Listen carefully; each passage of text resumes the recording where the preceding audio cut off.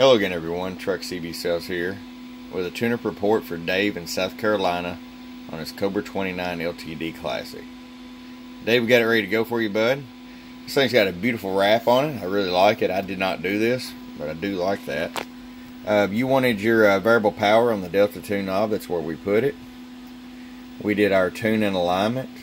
We did a VFO wind-up mod as well as upgrading the final to a 1969 and did a tune and alignment and uh, some other little tricks. So uh, let's get right to it. 5 watt slug, a little less than a half a watt all the way down, a little over 5 all the way up, 100 watt slug, average power, low, right about 10 bird peak power. Oh,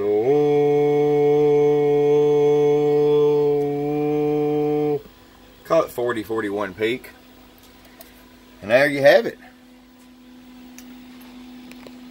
Hope you enjoy it, my friend. It's a good one from your friend Truck at truckcbsales at gmail.com. Bump bump.